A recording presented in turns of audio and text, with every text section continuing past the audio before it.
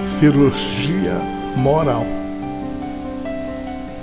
Pelo Espírito Lancelin, psicografia de João Nunes Maia, lição 13: Os outros. Já pensaste que existe muita gente além de ti, vivendo no mesmo mundo em que habitas? São bilhões com as mesmas necessidades e os mesmos direitos. Filhos do mesmo Deus de bondade e de amor.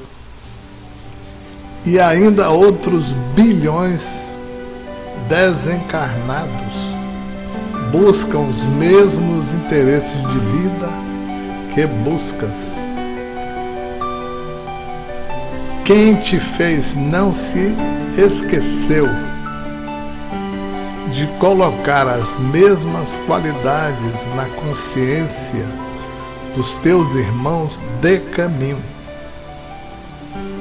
Se tu, para viver, precisas dos outros, tanto quanto os outros de ti, é de justiça e a razão nos esclarece.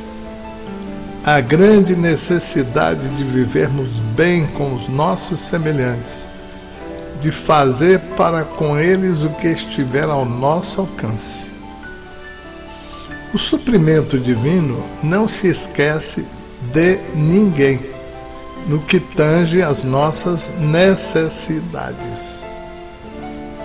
O que achamos que falta na economia da natureza é consumido no desperdício dos que abusaram daquilo que foi colocado em suas mãos, registrando na escrita superior a ignorância que, por vezes, atende ao karma dos sofredores.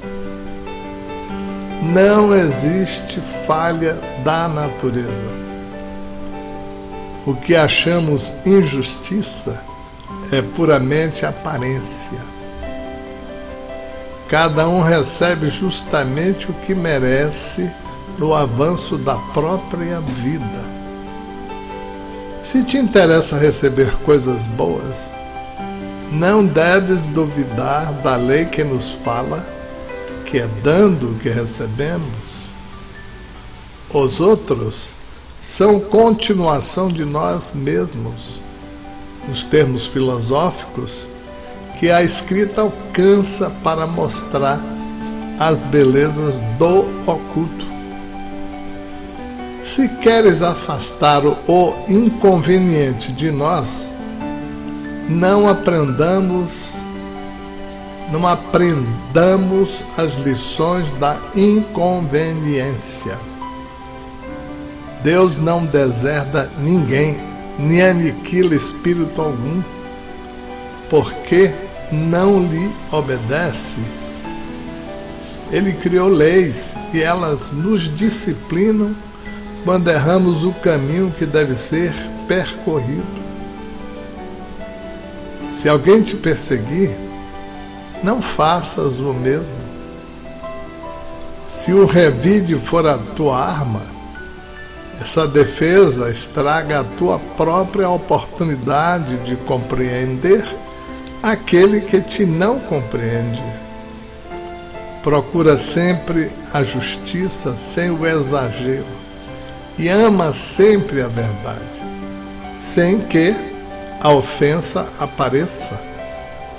Os outros têm o mesmo direito que temos como ocupantes de lugares na grande extensão infinita.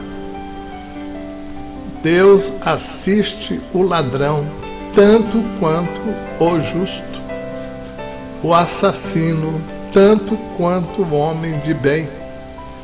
Porém, Cada um recebe o que busca pela vida que se dispôs a viver. O Senhor não distingue os seus filhos. Eles são todos iguais à sua magnânima visão. Ama a todos, qual o Sol distribui seus raios em todas as direções do universo, sem nada a exigir dos beneficiados. Quando pensares, meu irmão, nas tuas necessidades, lembra-te igualmente da carência dos outros. E se for possível, trabalhe em favor deles, que esse trabalho, quando não é vendido, gera pontos de vida na luminosidade do amor. Quando escolhemos alguém para a nossa amizade ou para o nosso amor, exigimos qualidades, perfeição, tudo de bom que nos agrade. Por que não fazer o mesmo conosco?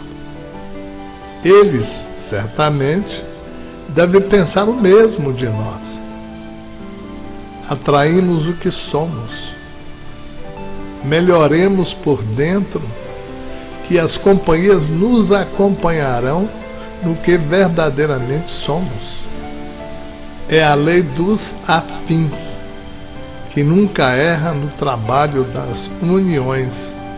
Trata aos outros como se fossem tu mesmo. Alimenta o mesmo interesse de servir aos teus irmãos, como se o estivesses fazendo em teu favor. E a tua amizade crescerá mostrando-te a verdadeira estrada, onde a tua inteligência e o teu coração encontrarão o reino da consciência em perfeita harmonia com a harmonia universal, em paz com Deus. Muita paz. Até a próxima lição.